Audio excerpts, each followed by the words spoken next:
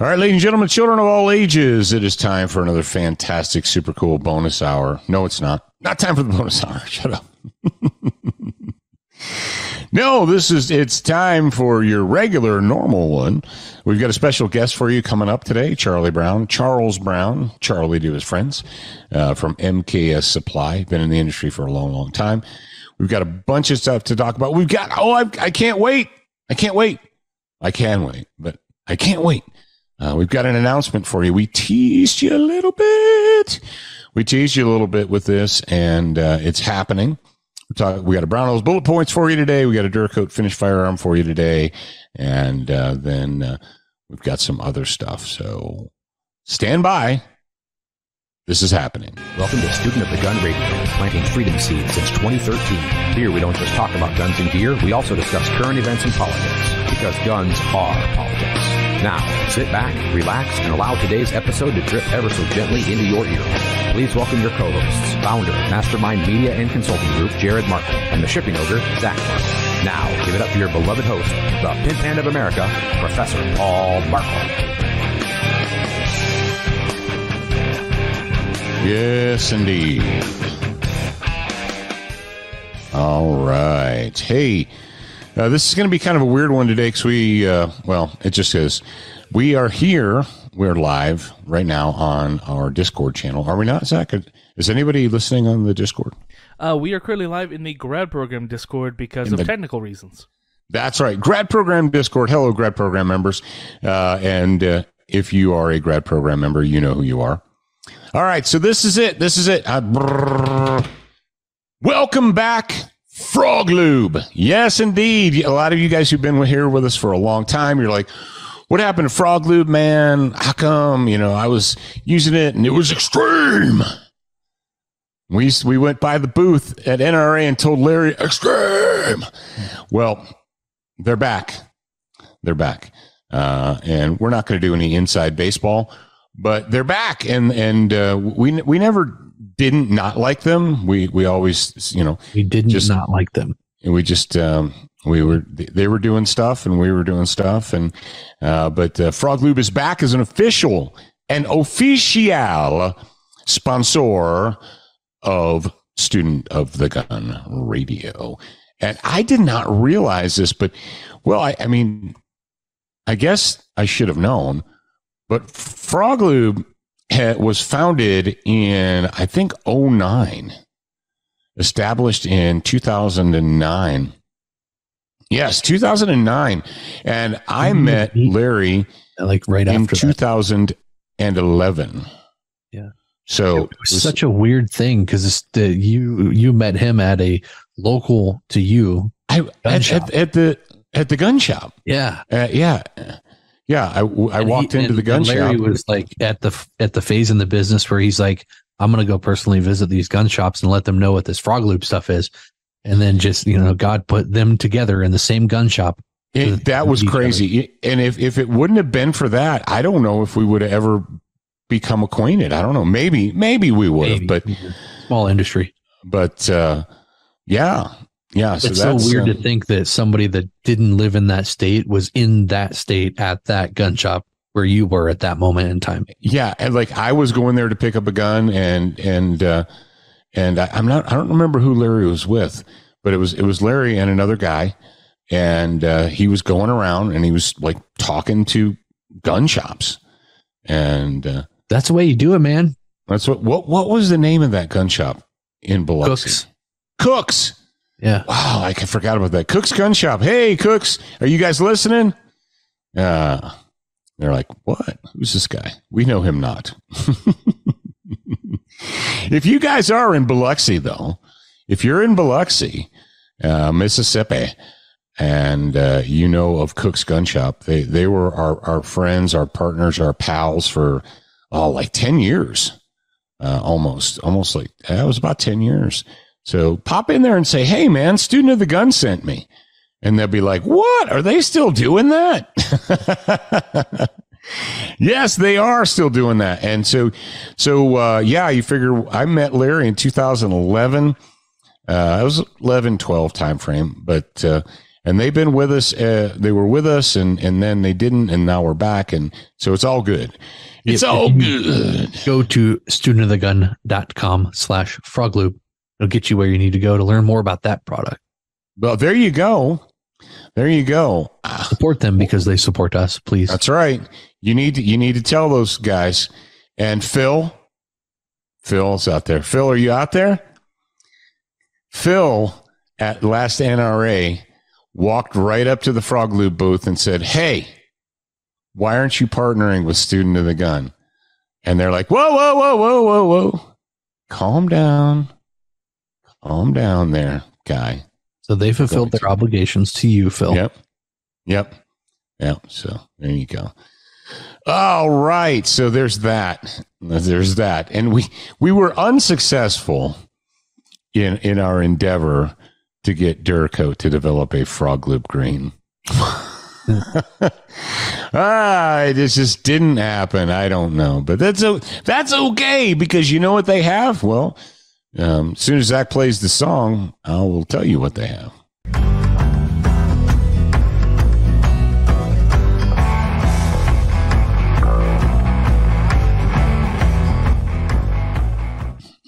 Been a challenging day. So there's that. So there's that, Mister. That's that. So, uh, what do they have at, uh, Duracoat? Well, in case you guys have been living under a rock or haven't been paying attention, I know there are new people out there. I know there are new people out there. Uh, they did develop a color in conjunction with Student of the Gun. Yes, indeed. Uh, and it is called slightly darker black. That's right. Uh, and if you don't get that, I, I feel sorry for you. Quite frankly, if you don't get the reference, I, I kind of feel bad for you. Uh, but we did uh, several years ago. We'll help you fix it. And you go to go watch the Archer. That's right. Go watch Archer season one. Uh, actually, there's a there's a there's a callback. There's season season one, and as a matter of fact, isn't it the pilot episode? Yes, it is. It's the pilot. Okay, it's the pilot, Was and then there's a really? yes, and then there's a callback in season two. Yeah, buddy. Oh, so slightly darker black. Is it aubergine? Black? Slightly darker black? No, it's more of an aubergine. what are you talking about? Well, here's what I'm talking about. I'm talking about pop music. I'm talking about the fact that that Duracoat has not one, not two, but one, two, four, six, eight, nine, 10, 11, 12, 12 different shades of black. But the best black of all, and the one that you should be concerned about, the one that you should be purchasing and using, is Student of the Gun Slightly Darker Black. Yes, indeed. Yes, indeed. And speaking of Student of the Gun, I believe, is there still a gun tattoo? Gun tattoo. I'm going to go look up gun tattoos. Uh, and there was last time I checked, but I'm going to check again on the website. Yes, there is an official student of the gun SOTG logo gun tattoo. So when you do your custom Duracoat job on your gun, not only can you use slightly darker black, which you should, uh, but you can go to the gun tattoos and uh, you can order yourself some gun tattoos and get a an official student of the gun gun tattoo. And What I did is I went to studentofthegun.com slash Duracoat. Then you go over camo and designs, go to gun tattoos. I'm going to click it and it's loading and I see, oh yeah, look at that. There's a style called SOTG logo fighting solves everything. And that is Yep. it right there. There you go. There you go. So get it done. Get her done there. There you go. Uh, check out our buddies at Duracoat Firearmfinishes.com. All right, moving on, moving on, moving on. We talked about the state of the industry with our buddy Charlie Brown. Uh, we're going to get him up, with, and that's coming up in the very near future. And the latest, the newest video on Jukesy.com, studentofthegun.com slash Jukesy, is the Canik MC9 Mete pistol review. Yes, indeed. that is on there, and you can go avail yourself to that right now, this very second, if you'd like to. If you don't want to, I don't care. Do whatever you want. You're a grown man or a grown woman. But this is the time that I'm quiet, and I invite you to listen just a little bit louder.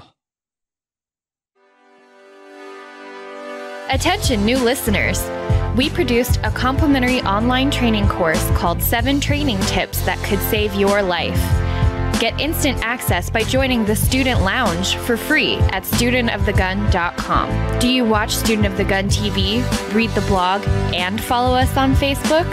If you answered no to any of these questions, you are wrong, but you can easily fix yourself. Go to studentofthegun.com to find everything SOTG.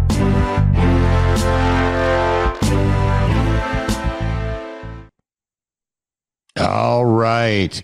Brownells bullet points. As always, this is our this is our hardware section. You guys want to talk about guns and stuff and stuff and guns. This is this is where we do it. We do it during the Brownells bullet points segment. And there's actually two things I want to talk about today. Uh, yesterday, I was out doing some training practice um, with an AR 15 style rifle.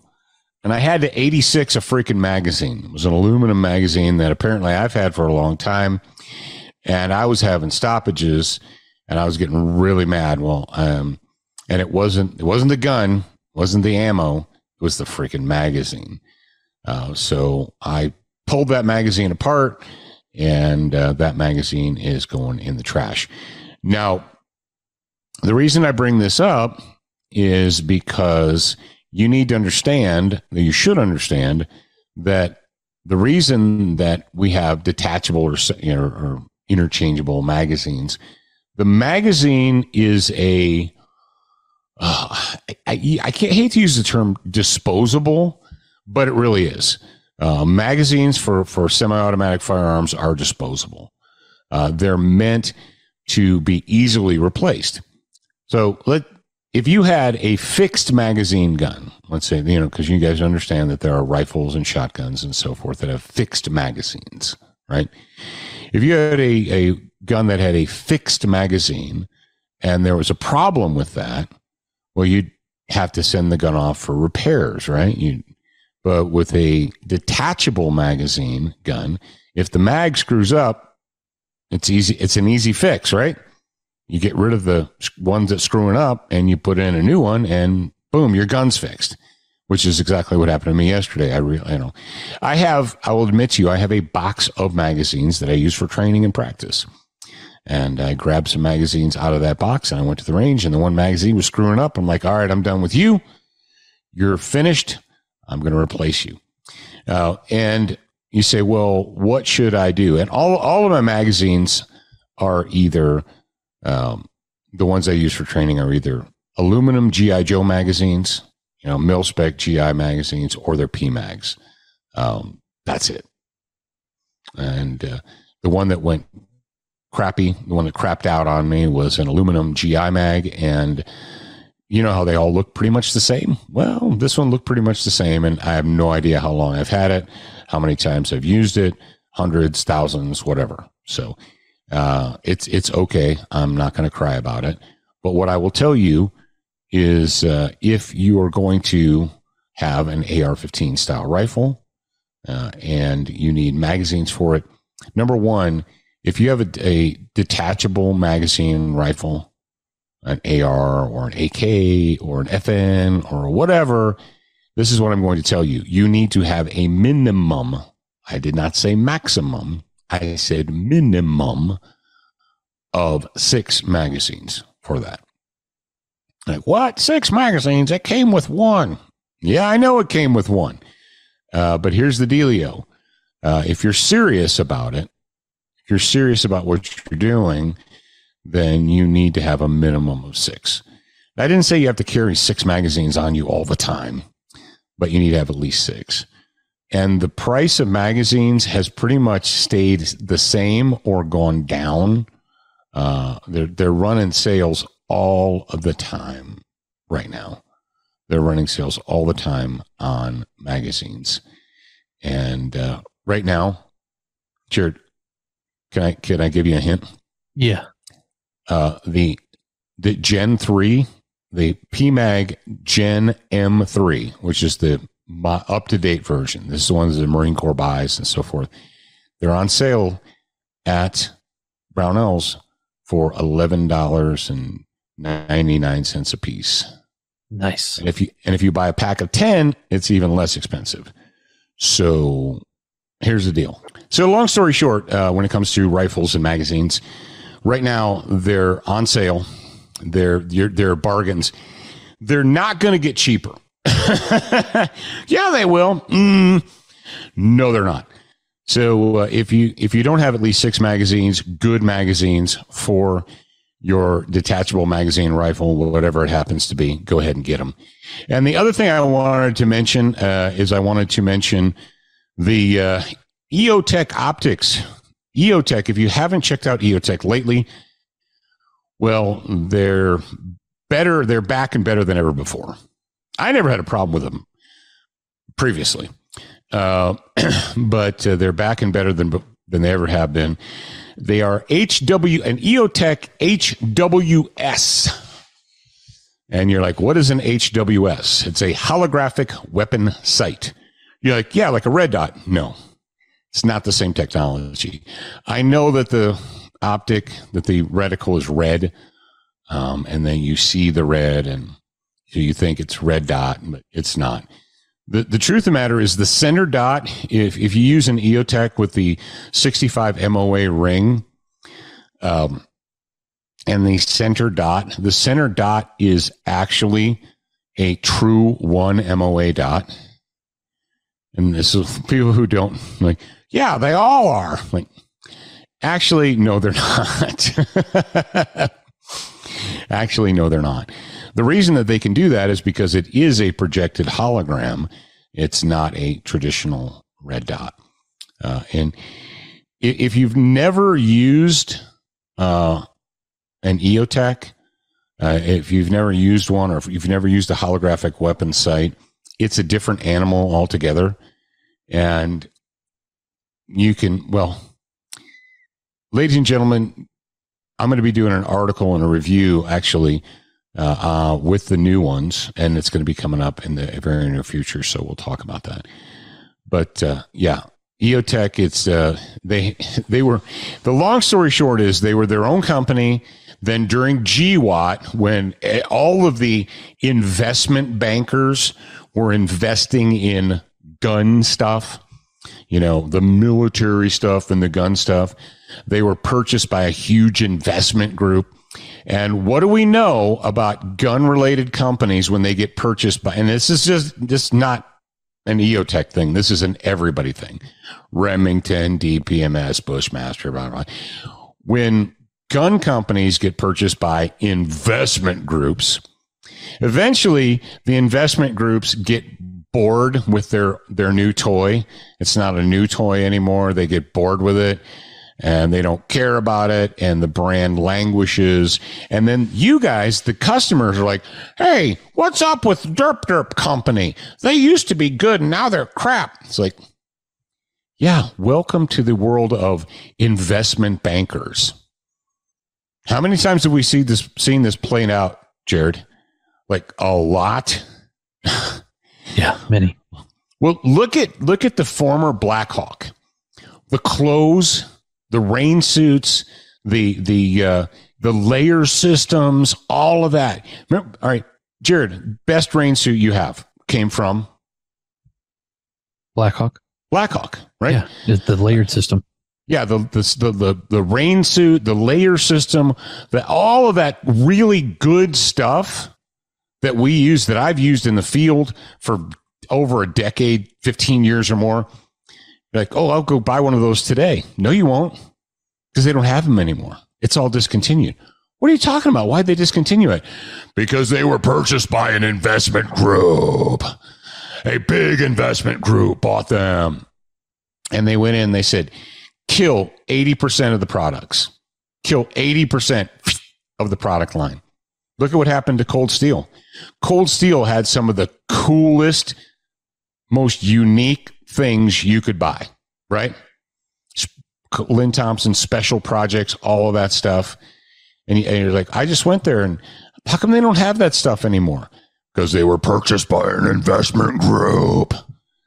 And the investment group comes in and they're like, keep the top 20% of the of products and kill the rest. And that's what happens. That's our industry. And what happened with EOTech was they were purchased by an investment group. And the investment group's like, oh, we don't care about you anymore. So we're not going to, we're not to brand you. We're not going to market you. Well, fortunately, that investment group does not own them anymore. They're owned by a private company and the, and the investment group, they came in. This is my favorite thing, Jarrad, when investment groups come in and the guys who have been working at that company for 10, 15, 20 years know the industry, know the company. The investment group comes in and says, "Yeah, we don't need you guys anymore. You you can just go away now. We're the smart people are here. You you dummies who have only been working here for 20 years, you don't know what you're doing." And then they get rid of all those people that know what they're doing and and weird strangely the the brand suffers. What? Like I said, this is not just an EOTech thing. I've seen this. Uh, how many play out over and over and over and over again? So the good news is EOTech's back. They're a privately owned company. They hired back the smart people that used to work there before the investment group took over. And uh, they're back and they're better than ever before. So there you go. So that's that, Mr. That's That. and of course, you can get those from brownells.com. Yeah, that's right. Go to brownells.com and check them out. A Defiant Munitions. We didn't, I don't know if we talked about this. We need to make sure, Zach, Jarrad, Hello. that every time we do this show that we remind people to go to Defiant Munitions, Defiant Munitions, and use the promo code SOTG or click the hyperlink, go to studentofthegun.com slash defiant. And then when you go there, will it, will it automatically, it just takes you there? Or does it automatically add the code? use the code. Yeah. Use the code. It's SOTG. Use the code. You save some, you get a discount. So you save some ducats. Right. So you're going to get premium ammunition and you're going to save money. So there you go. I think that's a good thing. And uh, they support us, we support them. All right. We're going to do uh, one more plug. This is when I shut my mouth and I let Zach talk. ShopSOTG.com is the perfect place to go if you are a student of the gun. Whether you want to expand your brain, increase your marksmanship, or help keep your family safe. All that, plus the pimp hand brands that you love. ShopSOTG.com has almost anything that an American patriot would want education, enlightenment, and entertainment, and we're open 24 7. Check out ShopSOTG.com today and see for yourself. Yes, indeed, you do. Over at shopsotg.com right now, we've got the Always Armed kit currently on sale. Right now, it is concert season, it's convention season, people want to go out, do things. But as we know, sometimes there's, you know, a little old lady standing there with a magnet wand who is not going to let you get through with anything you use to defend yourself. Well, that's where we come in. With the uh, official CIA letter openers and the EDC knuckle carrier, you do not have to be completely disarmed uh, ever. There you go. That's right. Uh, it's not really convention season right now. It's concert season. I needed more than one example. I needed a second example. There you go. There you go. Um, and and you kind of feel like James Bond when you walk through and you're like, ah, you're like, you're good. I'm like, yeah, you're right. I am good. yeah, you're right. I am good. Yes, yes, and indeed. The funny thing about some of those magnetometers, they're turned up so high that somebody could have a Spyderco clipped into their po- with a with a polymer handle clipped into their pocket and walk right through. Somebody might have done that, and then said, "Whoop, whoops." I guess that worked. So, um, yeah, you just don't know. You just don't know. All right, the next voices you hear are going to be those of Charles Brown and Jarrad Markel and Paul Markel. All right, here we are. It is time for another Student of the Gun radio. Aren't you excited? If you're not excited, well, prepare to be that way. Uh, what we've who we have with us today, we have one of my oldest friends in the firearms industry. Uh, we've known each other for what since the 90s, right? Yes, it, yes, for sure, early 90s. Back in the 90s when things quite frankly seemed a little bit simpler. We didn't we didn't know it back then. We're like, wow, things really suck. No, that it was pretty calm. But uh, his name is Charles Brown, but Charlie to his family uh, and his friends. He his father and he's you're a fourth generation, is that correct? Fourth generation. Yeah, fourth generation in the firearms business. Yeah, so his father and grandfather started the first pay to shoot range in Ohio in 1953. And they conscripted Charlie to sweep up brass and build target frames and stuff when he was just a little shaver. More of like an enslavement. yes. so he, Charlie's worked in the retail business, fishing, archery, hunting. Um, you have you're he's a smart guy. He has a double major in marketing and management. Uh, is there? Did you throw any social justice in there? You didn't. You didn't. You don't have. No, you don't have a major in social justice. oh, okay. No. Uh, he's been he's been a salesman. He's been a dealer. He's worked at big box stores, and he's had MKS Supply since what in the 1990s. Um, uh, yeah, I've been there since about '94, and then Mhm. I become an owner in a, in a 206. Yep. And then you have also passed on the tradition uh, to your your daughter. Is your da- your daughter your eldest?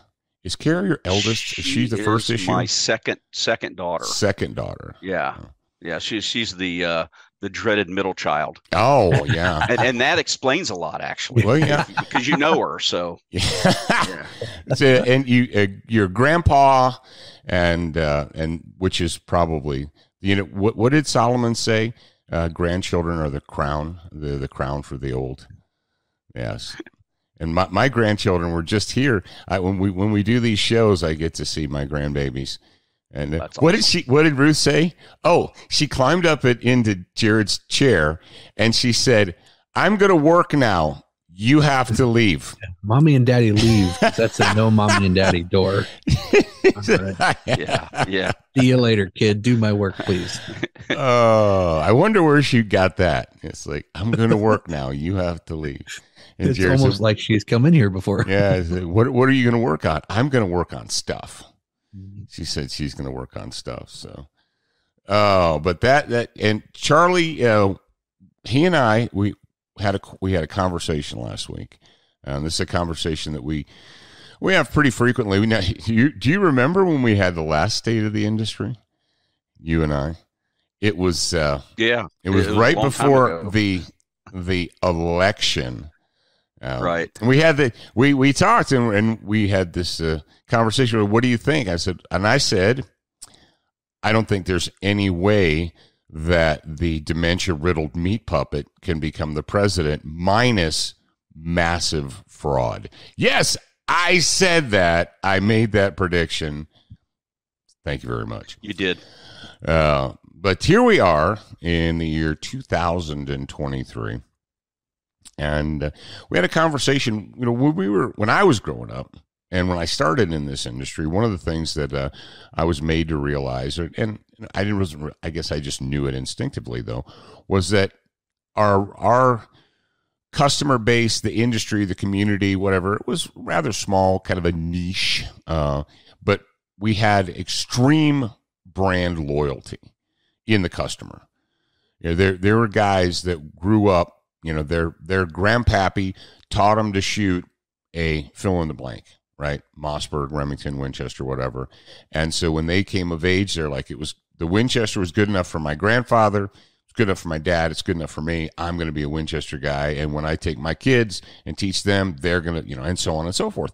And in our industry, we bred uh, very deliberately extreme brand loyalty. You know, there were people that were second, third, fourth generation Remington guys or or whatever.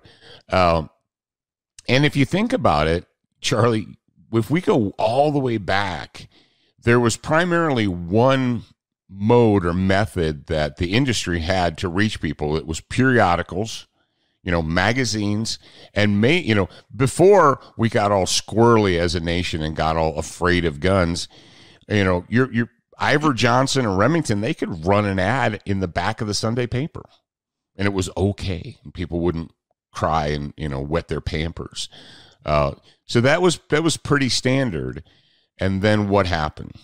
We had the internet and the wheels fell off and, and everything just became hit and miss. And I think that's really where we started to lose that hardcore brand loyalty and things started getting mixed up. Would you say that's fair? I'd say that's a reasonable uh, assumption or, or observation. you know, I think in in between there's a lot of things going on that that created um, less brand loyalty and less. Uh, uh, there's a lot of people that hide behind the keyboard and just stir things up now, mm-hmm. just because they can. Yeah, that's something that we didn't have to deal with in the 80s and the 90s. Uh, was you know, if you were the editor of a magazine, you might go through the letter to the editor file, but that's as far as it got. You know, uh, and and I know there were some editors, and I'm sure you knew those guys that that uh, would go through the stack and find just the most ridiculous letter to the editor, and like, oh, I'm going to publish this. This is right. Just because it's it's so it's so ridiculous and off the chart that people will talk about it and it'll grab. And, and then I've heard tell that some letters to the editor were written by the editorial staff. I cannot well, one way to communicate. I cannot confirm or deny that, but uh, uh, yeah, but that's where as that's as far as it went.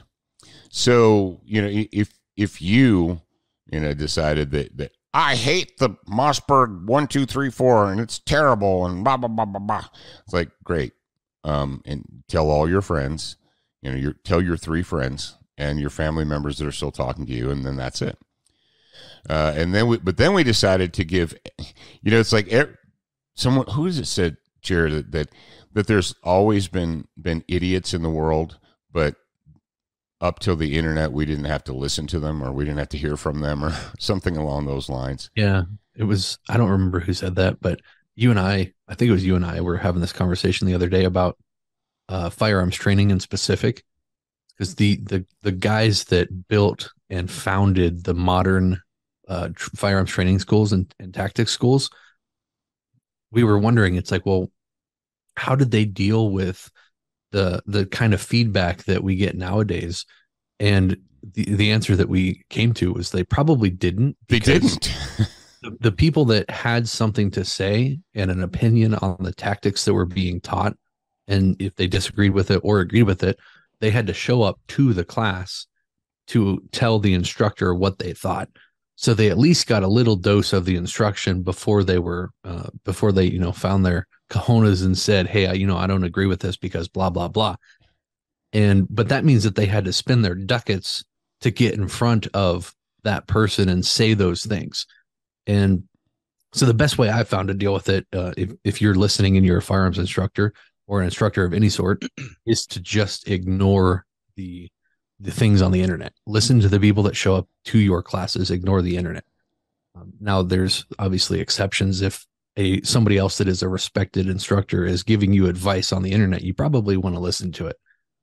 But the and I have this the type of personality that it's really hard for me to ignore the uh, comments and whatnot because part of my job is to make sure that the customers uh, what we're saying and what we're doing what we're displaying on media is landing the correct way right so that the sender is sending the message in a way that the receiver can receive it and but there's it's there's like a point of no return once you once you get so far down the comment rabbit hole it's like just shut it off get away from it and then do your thing that you do every day well well sometimes right. you have yeah. to put up a, an a-hole filter to, we, we've got one it's blue so you can catch them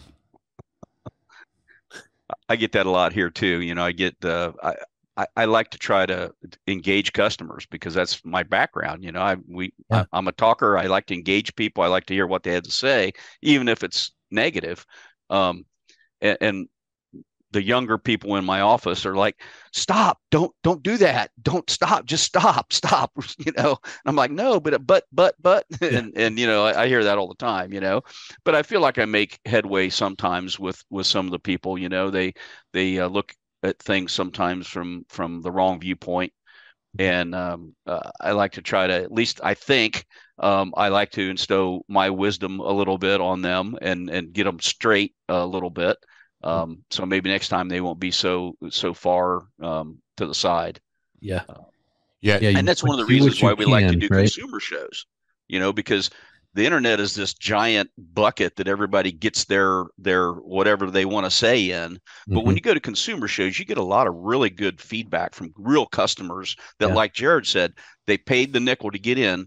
You know, NRA show, um, Great American Outdoor Show, you know, those type of shows. They paid to get in they're interested, they're engaged, they're not just keyboard warriors, you know. And uh, that, that's a really important thing for our industry to keep in mind as we go forward. Is you know we need to c- listen to our customers, the real customers. Yeah. yeah, and that I that is the you know the um, James used to deal with that all the time. Yeager, you know, people were like derp derp and i and after watching your video i decided that i'm never going to come train with you it's like mother lover, you are never going to come train with me ever. Right. You know, it's like you've lost a customer. You never were a customer. But okay. That, that's one of the things that in in the business world we talk about customers being right and whatnot. And and people um, that sell products sometimes they take that to the extreme and they say, well, the customer's always right. And what they're actually saying is that the prospect that's never purchased from them is always right. And that's not true the customer that is a loyal customer to you, they're probably somebody that you should listen to. Sometimes they're not right. You have to educate them a little bit more. Um, but they're right more often than the prospect would be. And in fact, if you're a business owner, the customer is your only boss. Yeah. That's true. Very but, true. But the customer is is the person who invested in you, yes. not the guy sitting in his mom's basement in a beanbag chair. Yeah, it's uh, a two way street. Yeah. Very true. So speaking of customers, where are they?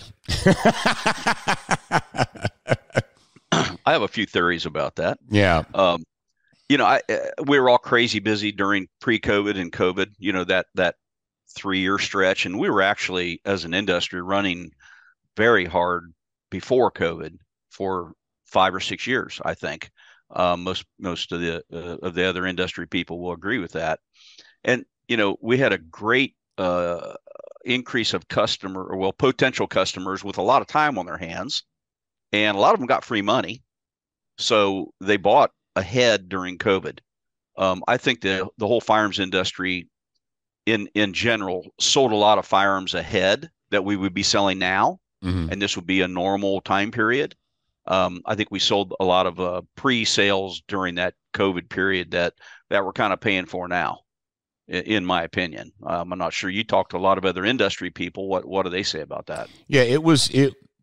What we had was unnatural.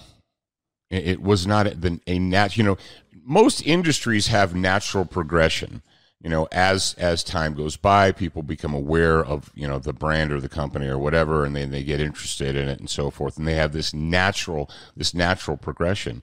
And what we've been dealing with you know especially since comrade barry was in is unnatural.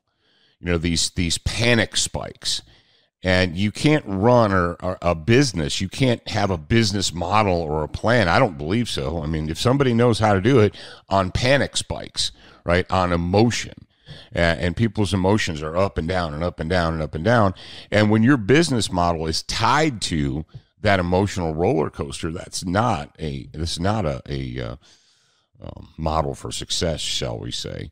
And, and you know Charlie, we talked that it used to be in the firearms industry. It was it, we had these predictable sales models. You know, like okay, we know that going into Christmas things are going to spike, and you know the hunting season people are going to buy this, this, this, and people get guns and, and stuff for Christmas, and then we go into show season, and you know, and then the middle of the summer is always dead because people are up playing baseball or fishing or whatever, uh, but it comes back up, and we and You know, if you're an ammunition manufacturer? You know, I had somebody say the other day, they're like, "How come such and such isn't making ammo?" And I'm like, they have production schedules.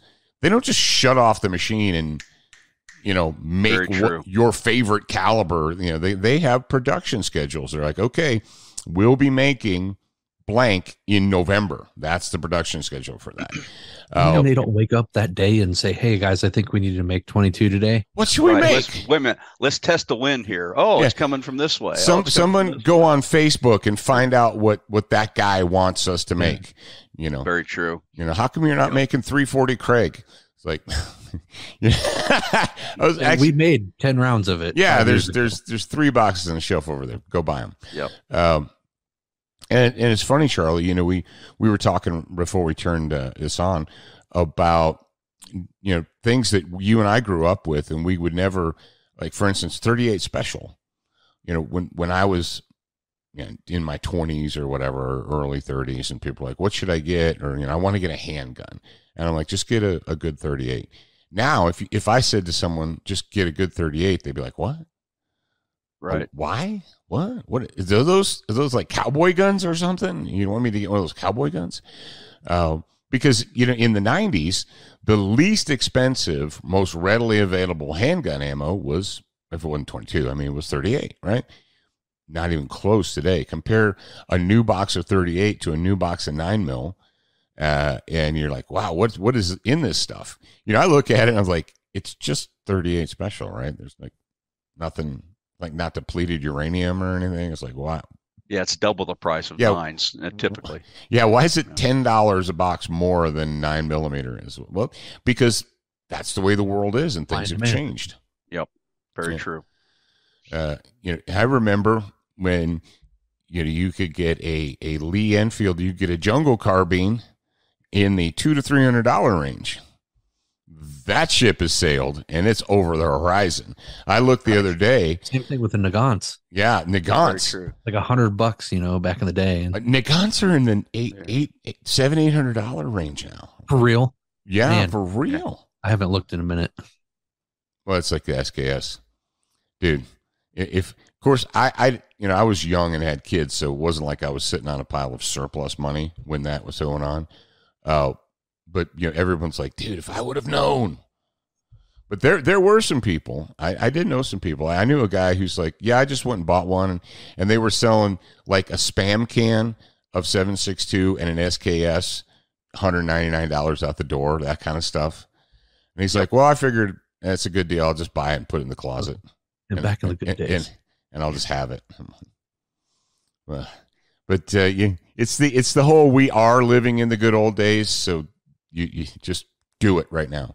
Uh, and I guess that's the advice that I would give to people uh, is if you want something and it's available, and, and, and I'm, I'm not telling you to like get a second mortgage in your house, but in, in our industry, if you want something and it's available now, and you say, well, someday I'll get one of those or in the future or something like that, mm, you probably won't. But look at Charlie, you you remember, I know, going into gun shops and they had barrels, wooden barrels with M1 carbines in them.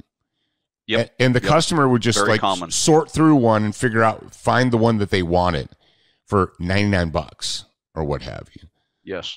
Those are all, all of those guns are now collector's items and they start at about 13 to 1500 bucks.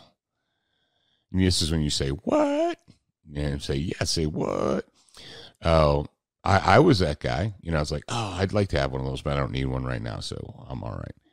Uh, I am glad that I did pick up some stuff though, um, and and it's funny you go through certain certain items, you're like, wow, I I thought that was very common, and now they're unobtainium. You know, being an importer and being a person who's dealt had to deal with imports, you know, in I think we got super spoiled around the 2000s, early 2000s, uh, late 90s, early 2000s, when the Soviet Union collapsed, and all the former Soviet states, the Romanias and Bulgarias, they all had they were cash starved. But what did they have? They, they had, product, baby. They had warehouses they had product. full of Cold War rifles and ammo and all kinds of stuff. And you, if you Uh, like, did you know Steve Kahaya from Century, their Oh, buyer, Yeah, yeah. Machine Gun Steve? So you're Machine Gun Steve, and and you've got fistful of American dollars, and and you land in the former Yugoslavia, and you go meet a general, and he's like, "Hey, what do you got?" And he's like, "You got money?" He's like, "Cause I got everything." Yep. Right. And, and people said, you know, they said, how can we, how could you sell $99 SKSs or $99 Nagants or whatever? How could you do that and still make money? Because the American dollar overseas was very powerful. And so they could do, everybody was making money, and the American gun buyer was getting screaming deals that were, quite frankly, unnatural. The deals Very were, true. and, and but those days have they're gone. How much surplus ammo is coming into the country now, Charlie? Very little, if any. Um, most all the European countries are are pretty much either either out of of their surplus ammo, or they've redirected it to hot spots over there that that may need it. Um, there is there is very little uh, surplus ammo setting available. Uh, there may be some setting over there, but there it's it's very little available now um, nowadays, and very unlikely that you'll import it for a deal because uh, circling back to the internet, you know, our European friends now can check what the prices are going for in the U.S. and and they use that as a as a commodity read and base their prices um, on that many times. Yeah. So And, the, and when you you said warehouses, I don't think most people understand what you're talking about. They're uh, Paul's talking about warehouses that would make Amazon warehouses look like look like your local hardware store. You know, these are 40, 50 acres under roof, full of ammo to the ceiling or full of XYZ to the ceiling. Uh, just uh, unbelievable. And they had so much surplus that they used to put it in caves over there. There were caves full of ammo and guns everywhere. Somewhere that It's still unbelievable. exists. There's gonna be people digging in the future, like, Oh. what is this? it, it, it, it brings a tear to my eye thinking about it. Like, well, you know what we have right now in the United States is we have spread out throughout the whole country. We have little individual caves because let's face it, Charlie. When when when when the how many SKSs came in in the late nineties, early two thousand, like it had to have been over a million. Oh, it was millions. millions, right? I know one importer in particular that was over three or four million that he brought in. So It was those guns the, the the few of them that were you know that weren't turned into the the the Philadelphia gun buyback program or something like that. right. But most of those guns are there. They're here. Yeah. Yeah, they're, They're- still out there. They're in America. They're in closets and gun safes and, and, and under people's beds or whatever, but they're out there in America. It's like J frames. Uh, about, geez, I don't know, 10, 15 years ago, I needed to do an article, and the article was going to be about, like, um, it was going to like upgrading your J frame, right? So I tried to go to a, you know, to the local gun shops and pawn shops and stuff and buy a, a used J frame that I could put a new finish on and new grips and stuff like that. Couldn't find one. And I was talking to a buddy of mine. He goes, Yeah, of course you can't find them. He goes, Because they're in sock drawers and on closet shelves all over America and nobody gets rid of them. You know, they, they're just there. They're that gun that's always there. Uh, so, and I, I believe what we have right now uh, in is, and people, don't feel the need to sell them or they don't want to sell them. They're like, eh, nah, I should hang on to that or, or what have you. So, and if you go to, you know, I went to a gun show, which I hardly ever go to anymore. Uh, but I went to a gun show in February and there were dudes that like had surplus SKSs for six ninety nine. Like, bro. And the thing is, how do you sell a surplus SKS for six ninety nine when in today's market you can buy a brand new black rifle for six ninety nine. Four and a quarter. Yeah. Yeah, yeah.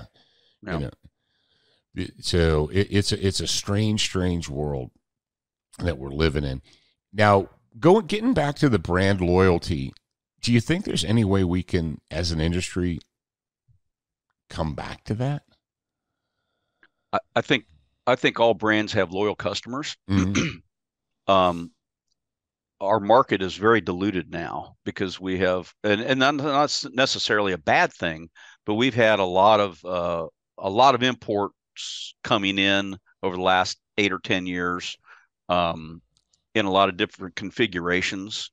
Um, I, I think the customer when they buy a firearm, they buy it now for instead of like when we were growing up, you know, hey, you know, that's a bucket of M uh, M1s, you know, I'm going to buy one because I got 60 bucks, you know, in my pocket. Um, I think our consumers are now buying firearms um, for a more like specific point. Um, you know, we still have customers out there that that just are gun aficionados and they just love to buy and sell and trade.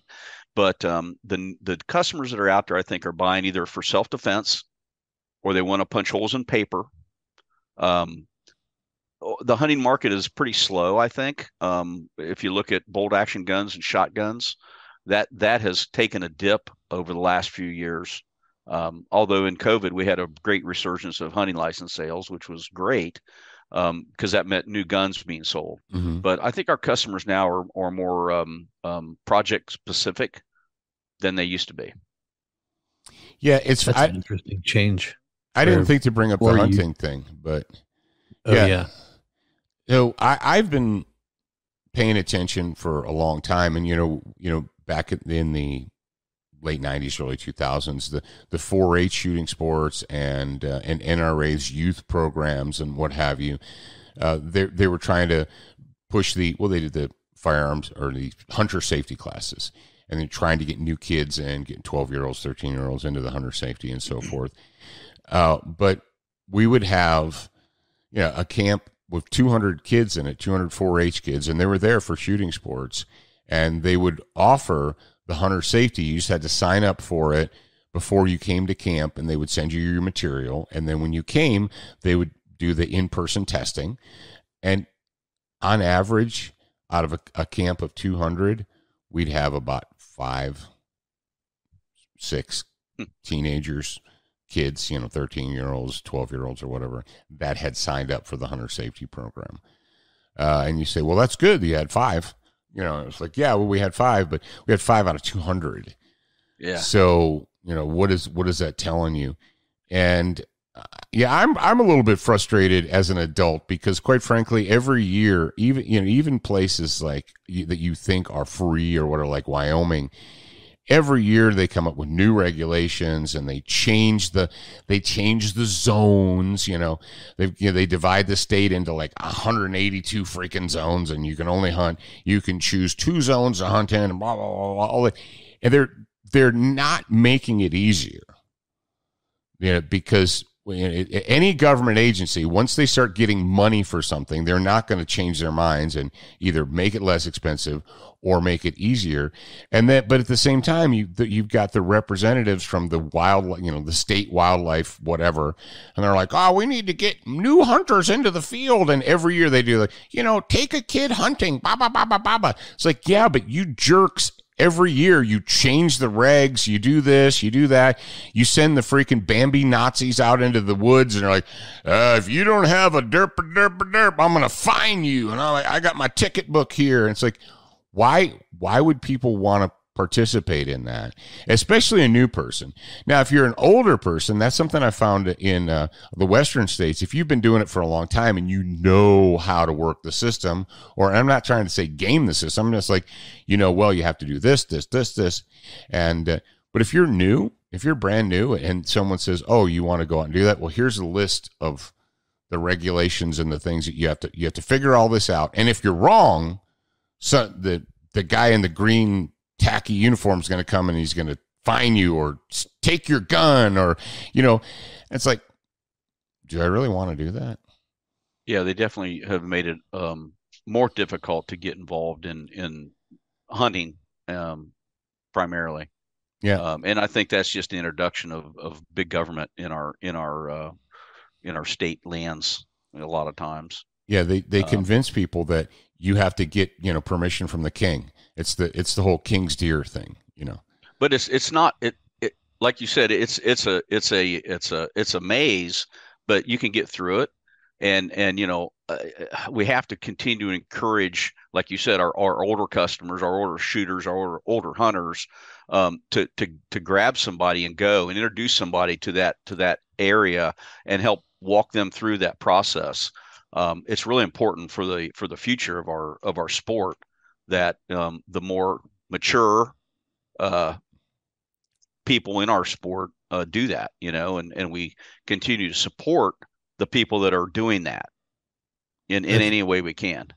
That's one thing that um, I've thought's been killing our culture for quite a while is the and I don't know maybe this is purposeful from the the big government end but you see the people that Uh, that are the more mature people that have done this for a long time. And as it gets more difficult to do the thing even though they know the process they're like well this is something else that I don't want to have to deal with. So they don't go teach the next generation. Well then that's how information gets lost. And there's a verse in the bible that says something like hey i'm going to give you all these things but you should not forget how you got them and the only way for that not to happen for for generation 4 or 5 to remember how that happened how the culture was established is for the mature people to pass it down to the next generation with as much detailed information as possible. Now, one of the frustrations from the mature people is probably that the younger people don't listen as well as they should. And I, I was for sure a culprit of that in my younger years. You know, the older I get, the smarter my parents get, or maybe they were that smart the whole time. I don't know, man. But it's uh, so so it's a balancing game. It's like as the the mature individual, how do you pass down this information, and at what age or uh, time frame in that young person's life is the right time to do it. Uh, man, because there are things that my grandpa tried to teach me when I was a teenager, and I was too busy thinking about girls or whatever. That now I'm like, man, I really wish I would have sat down and just listened and learned from him. That, and, and he's passed on since, so I can't do that. But that's like, why man, you got to get hello. kids when they're like ten. That that's you know that's when they're they're you know a ten year old kid, eleven year old kid, um, before they get in you know before they get they still think you're amazing and you know and everything. Stuff. Yeah, you get them. And, right. Yeah, you're still the king of the world to them. Yeah, they'll come back eventually. You'll lose them for a few years, but they'll come back. You'll lose them for a few years. But, yeah. So yeah, in our we we're, we've got a lot of challenges, and I don't know if other industries do that, whether automotive industries or or whatever. Um, if they sit down with each other, uh, you know, the people that are in the industries and say, okay, we have challenges how are we going to meet these challenges? You know, for instance, we used to have a very predictable sales model and production model and so forth that used to be very predictable. Now it's not. It's out the window. You know, uh, can we come back to that? You know, or we, or, you know, what are we going to do? And, and I, I, hear a lot from our, you know, the industry about, oh, you know, what should we do? You know, and and I, I kind of feel bad for them for to a certain extent because like friends, we talked about periodicals and magazines for 30, 50, I don't know, 100 years. Uh, it was very, this is what you did. Okay. You, you, you know, in the United States, when I started writing for paper magazines, there was probably six or seven editors that were in charge of all of the gun magazines. So if you're a marketing guy, you needed to know seven people, right? That's it. You just needed to know and have the phone number for seven people. The guy who was in charge of Harris, the guy who's in charge of NRA pubs, the guy who's in charge of, you know, guns and ammo pubs, you know, and then throw a couple other ones in, Petersen's and whatever, Petersen's and whatever they are now. Uh, but you, that's all you needed. You, you needed to know seven people or so. And now, you know, that's, that's dead. Uh, and now you have influencers and YouTubers and blah, blah, blah, blah, blah right? And uh, so you get marketing people, they're like, there's literally thousands of people trying to get my attention and convince me that they are the way to go. Uh, and so I, and I kind of feel bad for them uh, in, uh, in a certain aspect, but it also, I don't because it's their job to know. So, um, I don't know how we do we, there's so much noise out there. I, I guess that you know there's so much noise and how do you tune out that noise and how do you figure out like i'm not here as student of the gun and Paul Markel and what I do, I, and I never really have been. Uh, when I was writing articles, I wasn't there. When I had the TV show, wasn't. I wasn't trying to sell your products. I'm trying to make people aware of your company, right? I'm trying to generate brand loyalty. That's what I'm doing. Uh, you know, um, and I think sometimes what we have is a lot of these young people, and I say young, I'm like 30 and under, uh, who went to college and they, they got a marketing degree or whatever, and they believe that the job of the radio show, TV show, magazine, whatever, is to sell your products. That's not my job. My job is not to sell your product. My job is to make sure that the audience knows your product exists and to talk about your product. That's what I do. Uh, and we talked about the, you know, they're like quantifying. They want numbers. They want clicks or impressions or, or whatever. But, you know, I say, well, how many impressions did that billboard get on Highway 40? What do you mean? How many impressions did it get? You know, you're back in the old days with magazines, you know, you buy a, you know, a, a one quarter page ad on page 84 or whatever. And it's like, how many times was that clicked on? Well, I think our, our advertising slash marketing people nowadays are so so caught up in quanti- qualifiable and quantifiable numbers that they that they forget the branding component uh, that's out there that has to be told. Like you're saying, you know, you introduce people to products, give them the the specs, take it out, shoot it, do a video, you know, talk about the great things and maybe a couple of the, the not so great things. Let the customer decide if that's an interesting thing for them. Um, a lot, a lot of the new people we have in marketing, uh, you know, uh, th- that's an in- untan- intangible that you provide. You know, they're all they're hung up on tangibles, which is a a really good thing, and I think our our industry should embrace that. But there's more depth that has to be done other than just click numbers, time spent on websites. And that's good information to have as a manufacturer slash marketer.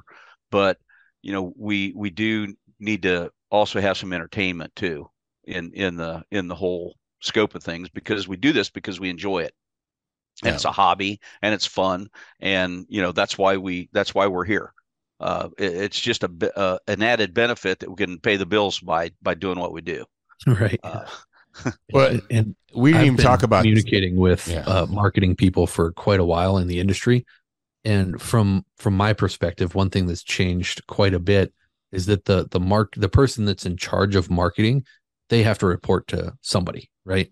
So they have to take their their numbers that they've got and they have to send it up the chain to whoever their boss is, and then maybe their boss's boss or whatever. So what they're doing is they're just trying to find the best way to make it look like they're doing their job in a way that provides ROI for the company.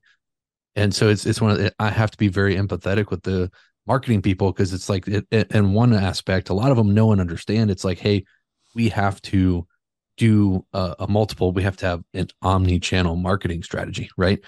And but they also have to show that ROI, especially with a new person that's in a company, because if you don't, then you're you're going to lose your job. They're going to find somebody else because there's there's a it's it's not slim pickings anymore for people that now it is slim pickings for people that know marketing and know the industry because the industry is relatively small mm-hmm. and uh, it's probably bigger than when you guys were were coming up and building the industry because that's really what you you charlie and and dad you guys did is you're kind of the founders of the modern version of the firearms industry uh, you you took it from an offline industry to an online industry, which is a a massive feat to accomplish, and and kind of you're maybe you're reaping the w- rewards or uh, dealing with the problems right that came up in that process, right? Because you can't predict everything from uh, hindsight being 2020. You can't predict everything before it happens, but uh, I think it's just an interesting thing from from the marketer's perspective. It's like, yeah, we we have all these channels and all this noise, like you said, well, what do we focus on? The best thing is to show this ROI so I can make sure I keep my job. And um, that's my experience. That's what I've experienced with speaking with the marketing people.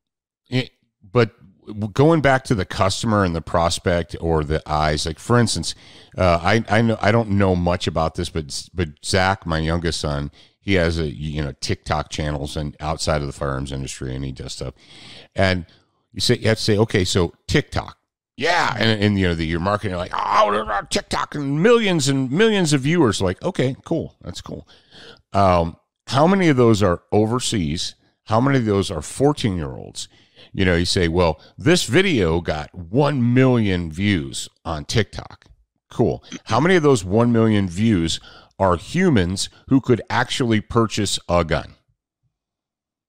Five? Some some subset of that. Yeah. Yeah. Yeah. yeah it's like, it's like, so all these South Korean teenagers watch this video. Like, whoopity doo. What is, what's the gun market in South Korea? You know, uh, or Japan? you know japanese and, and it's like because that gun is also a gun that's featured in modern metal warfare call of whatever you know and so they're all excited about it and they and they they see it and they watch it and you're like yay look at me i got we got a million a million views of this tiktok video. Yeah three quarters of a million of those were in korea and japan where they're not going to buy. They will never buy a gun from us or anything. So is that you know, we sometimes you need a little bit of a reality break. Like you know i can show you a million view tiktok and then we'll let's do the analytics. Yep. And you know 75% of those were overseas in in korea and japan. It's like those aren't customers and that's nice that they saw that.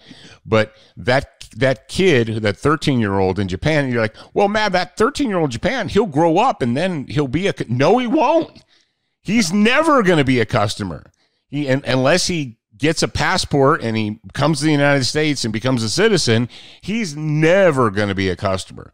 It's not like in the United States, if you reach a 13 year old or a 14 year old with your Mossberg or your Remington or your whatever logo, if you give that 14 year old a Remington hat, someday that 14 year old will be a grown adult with money and he's to be an American citizen. He can buy a Remington.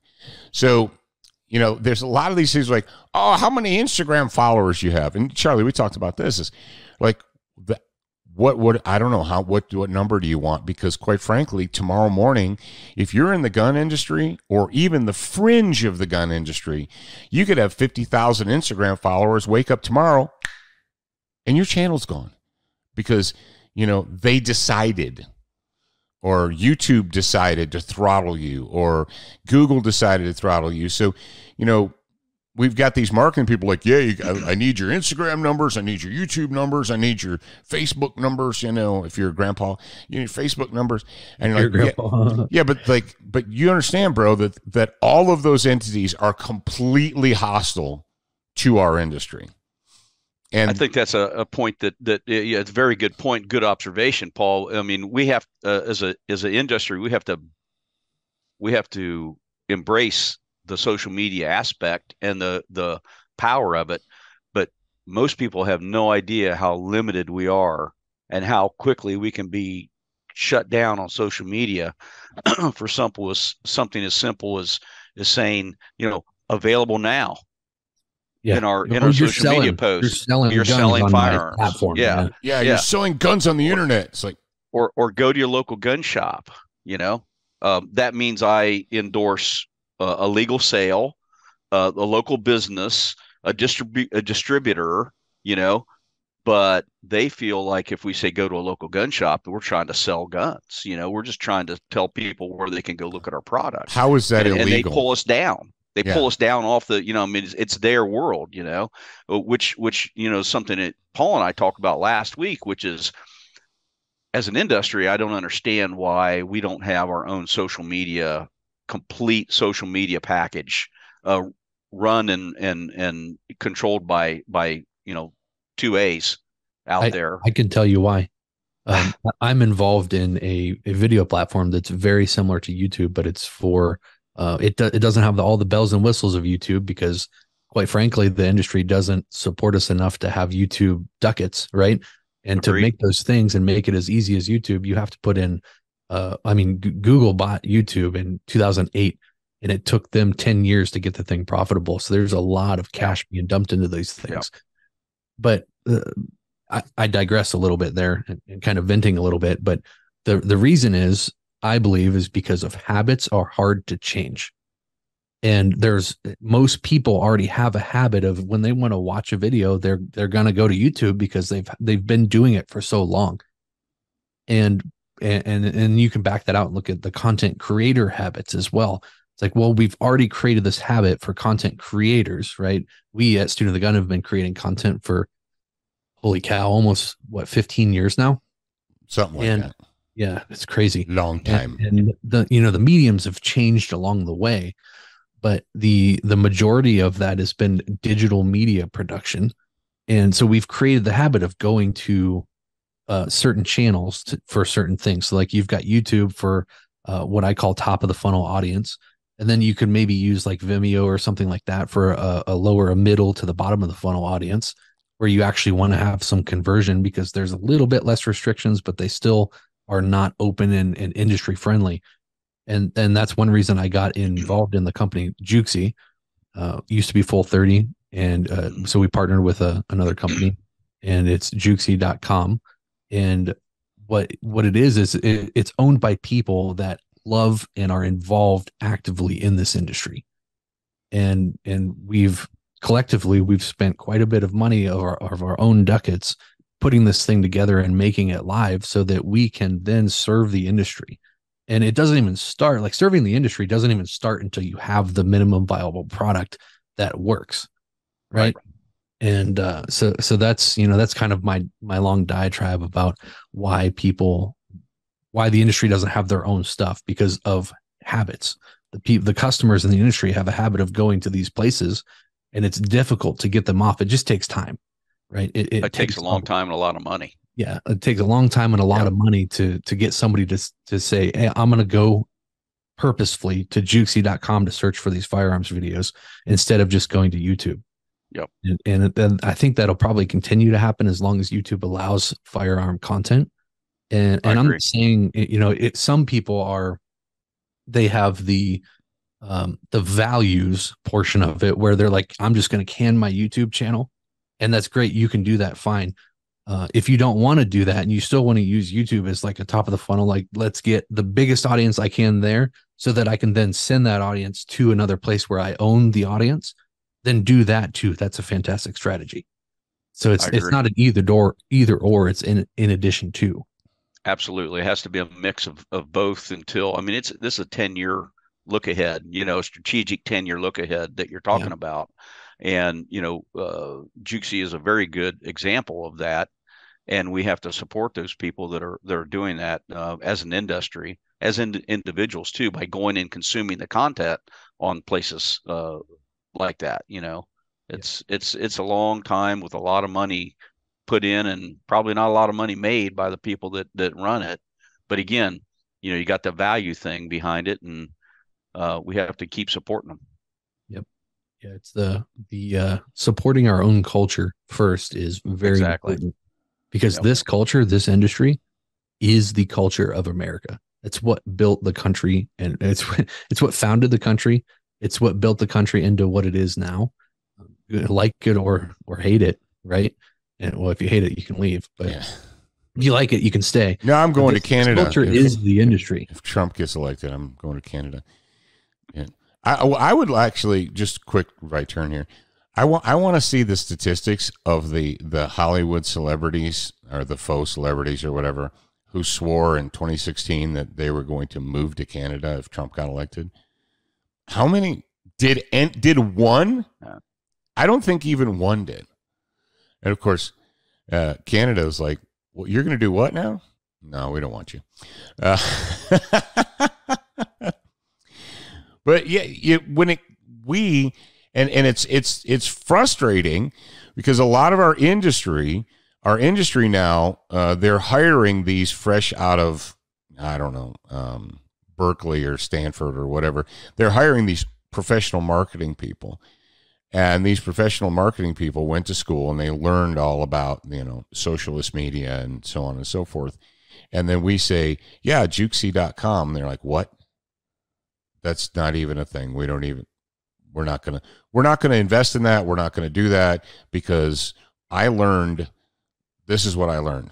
I learned YouTube, Instagram, Google. I you now what they do understand is top, middle, and bottom of the funnel. Yeah.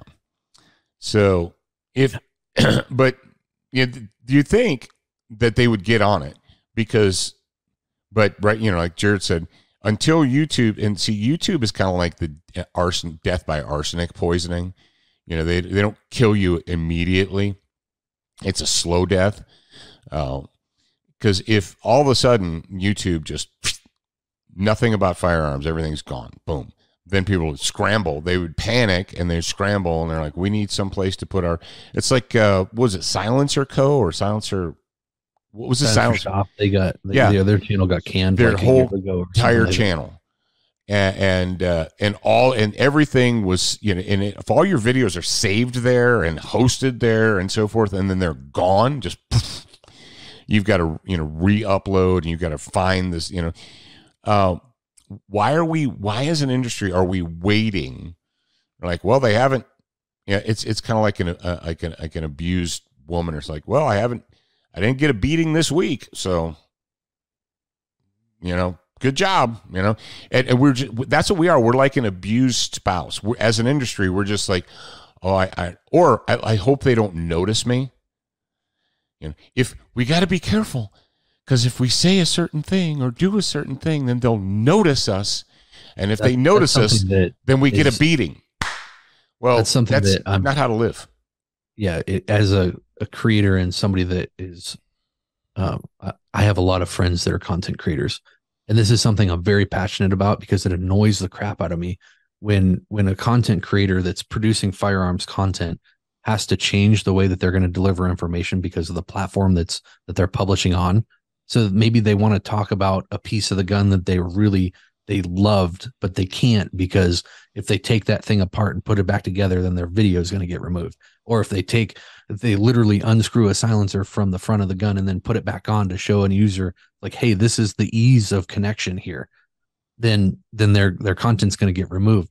So what's happening is content creators are now self censoring themselves because they're worried that the you know their audience is going to be limited based upon the actions and and the words that they're using which is man just for from a content creator's workflow it's it's very i can't imagine the stress that it, it creates for a lot of people and it's one thing that i'm very passionate about because i want a content creator to be able to jump on the camera with the thing that they're talking about and just talk about it give their honest feedback about everything that they've that they've done with that item because that's what they're there for. That's their that's the reason that they're producing that video and that's their passion is to talk about that thing. And like Charlie said earlier, it's like, man, if you can make a living doing something that you love, then that is living the good life. And it's man, it's come if you're a content creator, come to Jooxi.com.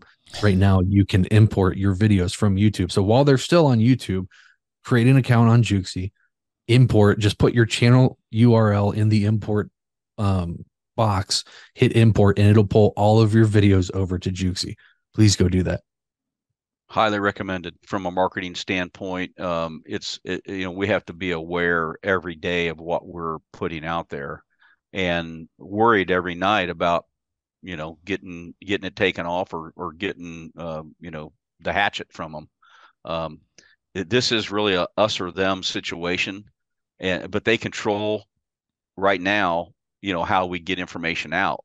So when we have platforms like Jooxi and, and others out there, you know, we need to support them. And like Jarrad said, if you can move your content over now, why risk the possibility of losing it? Yeah, for sure. Wow, we've so been going almost an hour. I've got a question for Charlie in regards to uh, marketing degrees and whatnot if you have some time charlie yeah i'm wide open how have you seen have you seen a difference in the the quality of um, people that come out of college now versus when you were in? Oh, maybe not the quality. Um, a couple things i've noticed. Here's my observations. Uh, the young people are much much smarter than Paul and I were when we come out of school, whatever whatever school you went to, whether it was a school of hard knocks, you know, you know, U.S. military college, whatever. They're much much smarter because they've had so much information available to them for so long. Um, young people are are uh, they got my total respect. Uh, I've got a lot. Uh, all companies I know that are flourishing are are accepting them and getting them into positions in their company because you're much smarter than we were, and it scares the hell out of us.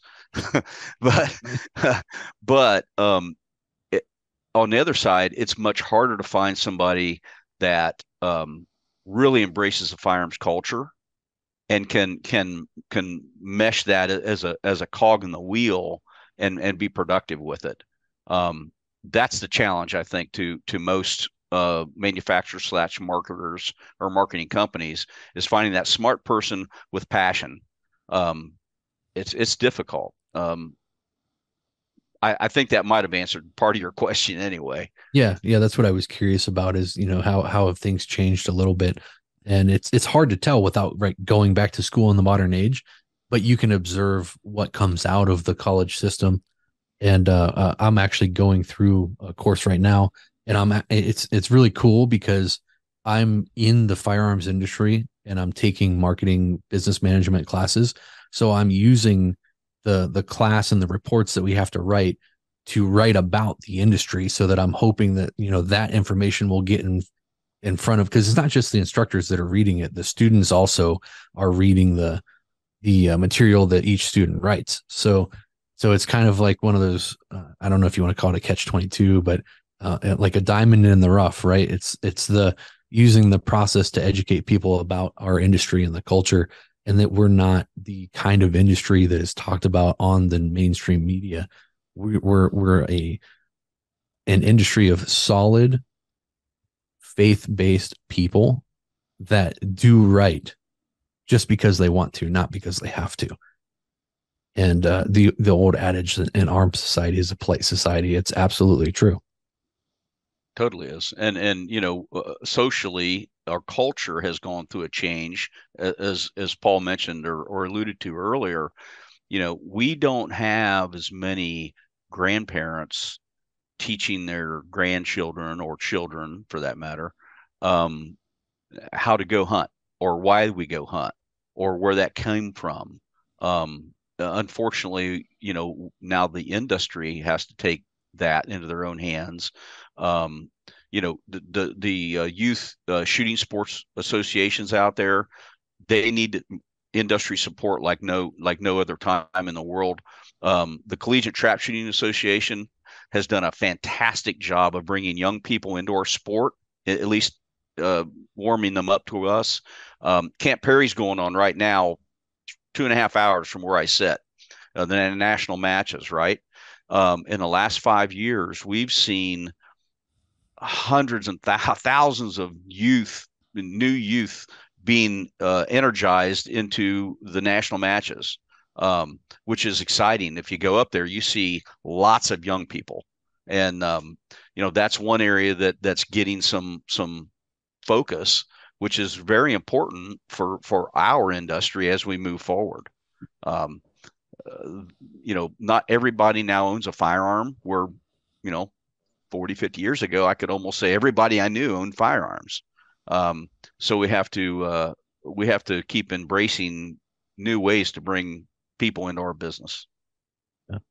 And that was the next question I had for you is how do we how do we help extend and educate the youth because that that's the future of this nation and the world is how do we continue to um, educate them on on what liberty is, why it's important, and then the things that surround liberty, right? Because without liberty, we it doesn't matter what widget we sell in the firearms industry. It doesn't. It just won't matter. Liberty is the basis of that. And so, what do you think is the the best way to go about getting that information to the next generation of people? That's a difficult question because I think that our our school systems and and uh, po- political leaders, if you want to call them that, there's a few of them, but not many, um, have done a good job of of uh, villainizing uh, the firearms business. Um, I think it it's it's going to be a a hard, long fight, but you know, it's it's nothing that we we can't lose this battle.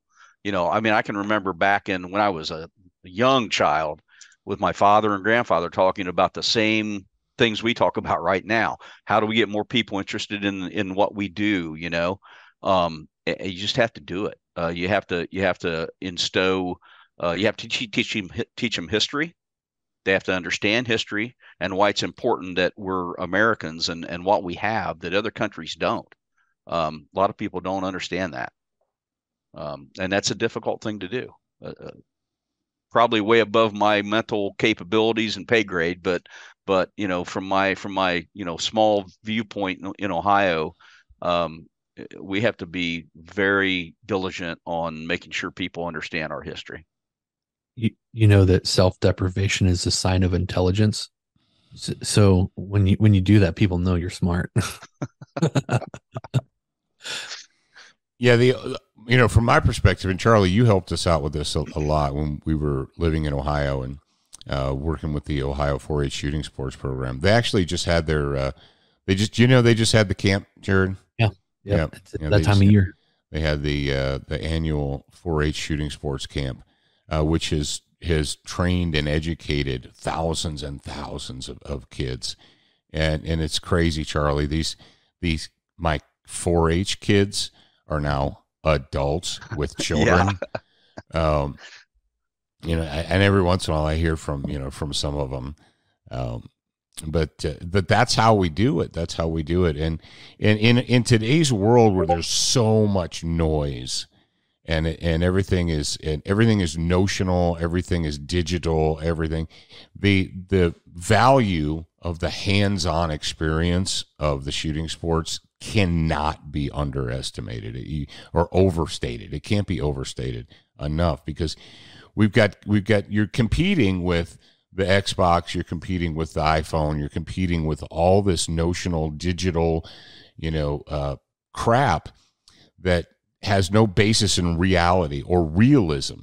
You know, a good friend of ours, uh, Scott, he's always talking about returning to realism, getting your young people to put hands on something, whether it's to grow a plant or to raise a chicken or to, you know, whatever, something that's actually tangible and uh, real and real. And, and uh, that, that thing that's, there's nothing much more real than the shooting sports, you know, whether the, the, I said that, you know, when you have a, a bow and an arrow and a target, the target doesn't care about your feelings or your pronouns or whatever. If if you don't do everything you're supposed to do as you were taught, the arrow's not going to hit the target. And crying about it's not going to help.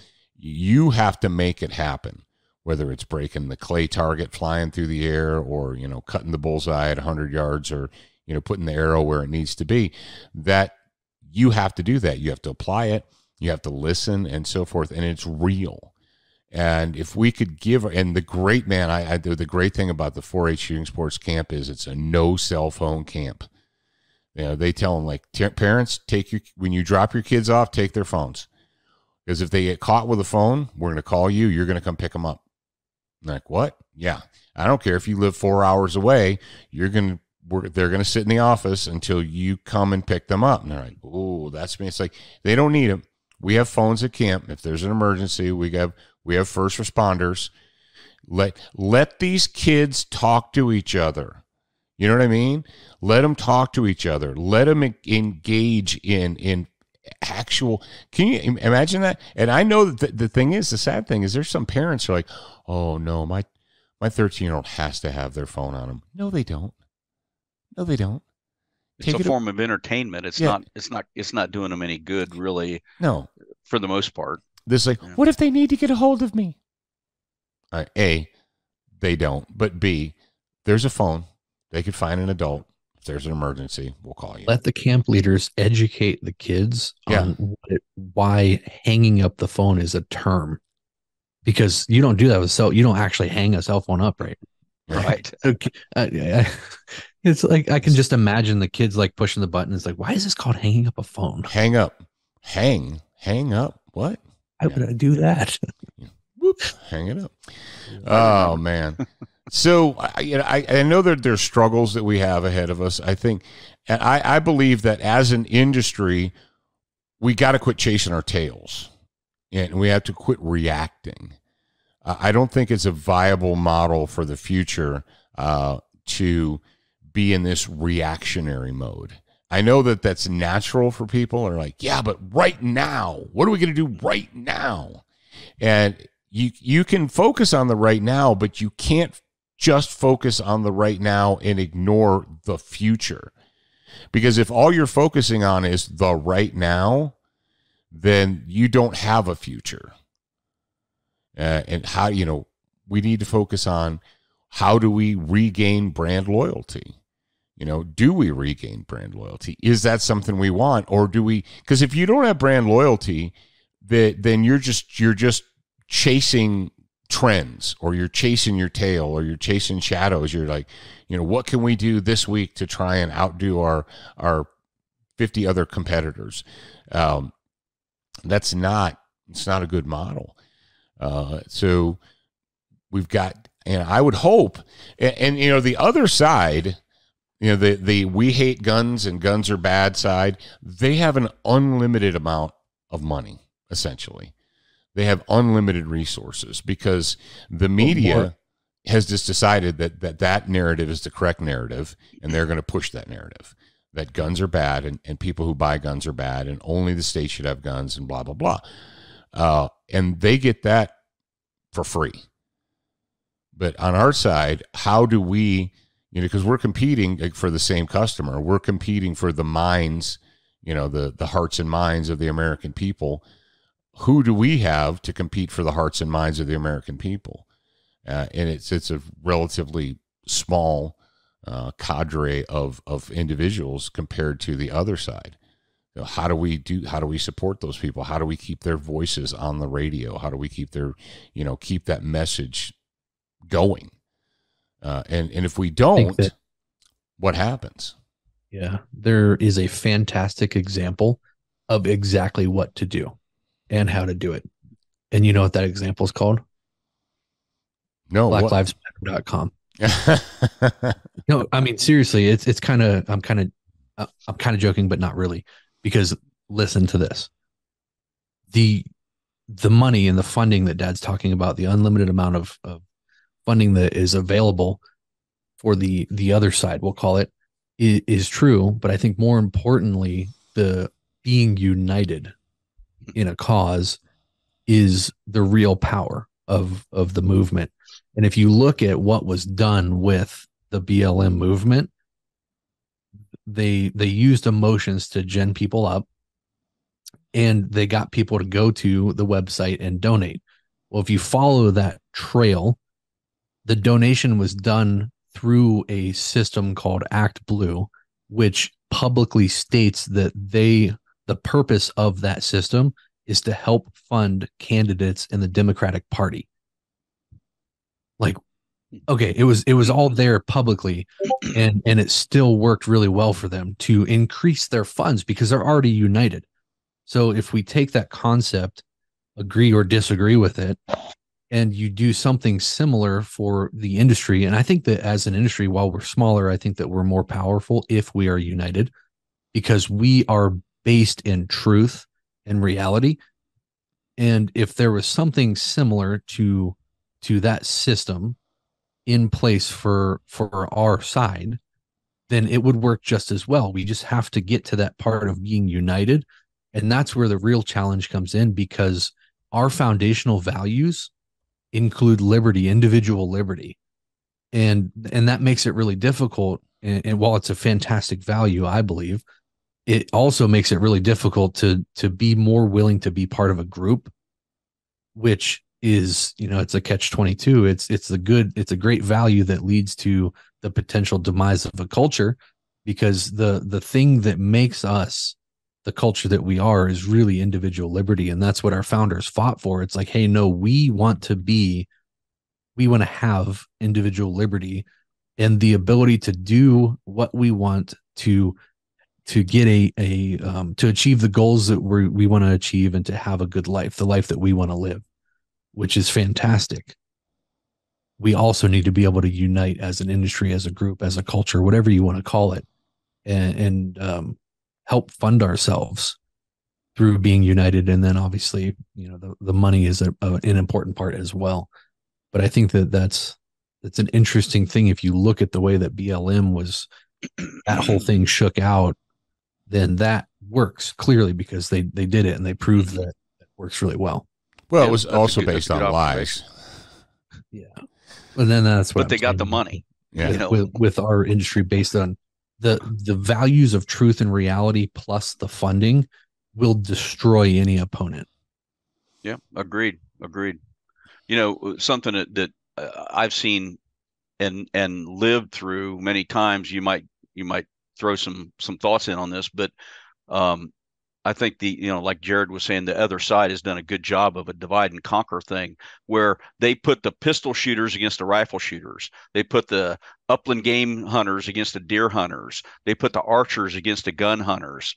Um, you know the MSR guys against the bolt action guys. I mean, you know, I've been in group conversations with with firearms people, and the the deer hunter that uses a bolt gun says, you know, I'm just not sure if we need those automatics. Well, hey guys, this is all rights based. It's the same rights in the same fight. We're all in it together. We have to be more united as a as a as a group, and not be us and them. Meaning within our own group, Yeah. there's us and them. Yeah. Um, you know, it's it's all about the the the Constitution. It's all about our rights as as you know people in the United States. Um, a- and you know, we need to get back together and and be going in the same direction all the time. Yeah, the gun is a tool. The foundation for that is is the liberty that that we have to That we have. That's right. That's right.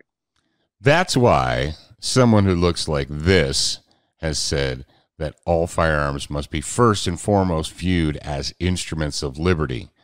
Ye- And if you don't do that, then and then everything else is just a toy. If it's not an instrument of liberty, it's a toy and it can be taken away from you. It's a privilege and can be taken away from you. Um, yeah, liberty first. Liberty first. You know, I know there's already a Liberty Mutual, but Liberty First. You know, if we could just go ahead and convince everybody in our industry to accept and adopt the principle of Liberty First, uh, we'd be better off for it. You know, you're like, well, derp a derp, this kind of, you know, it's, it's like, you know, um, years and years and years ago, I read an article about Ted Nugent, and he was really um, angry because there were uh, traditional archery guys that were protesting against the allowing of crossbows in in hunting. And then they're like that's not right and that's not fair. And and he's like look you imbeciles he said it in ted words but he's like look and you imbeciles those those guys are on our team just because it, it's still one stick. It's is you're still only launching one stick at a time. It's not like it's a full auto freaking you know gatling crossbow. Um, who cares? You know maybe that guy will get into it and say oh that was too easy. Now i'm going to become a traditionalist or whatever. But but the fact is and that goes back 20 plus years at least of of the traditional archery people protesting against the crossbows you know and stuff like that and that's just an example of us crapping on ourselves um, if, if somebody would have said hey it's all about liberty uh, whether it's a crossbow or a compound bow or whatever, it doesn't matter. Uh, and whether you, not you shoot three gun or trap or whatever, you know, it's like these uh, the gun golfers, man.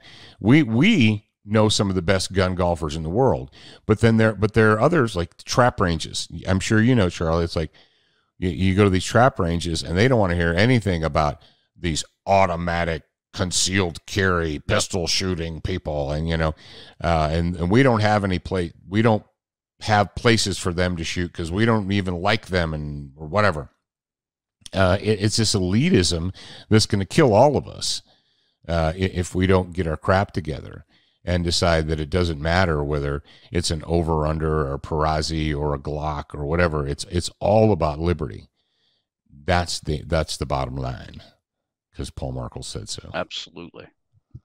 Yes, indeed. Yeah, where can and this is when we come to the point. It's like where can we find out more about Charlie Brown? Now you can't. You don't need to. Don't don't worry about it. But uh, if, if there was a parting thoughts that you would want to leave with our audience, Charlie, what would they be? Hmm. Support the ones who support you. Uh, you know, back back the two A. Um, support local businesses. Uh, they are your neighbors. Um, we've always been a, a, a company that supports you know local gun shops and and um, you know there's a lot of ways to do business nowadays, but uh, nothing beats going in and having a relationship, eye to eye contact, like we were talking about, discussions. Um, you can't get that on the internet like you can face to face. So um, you know, just keep supporting our our cause.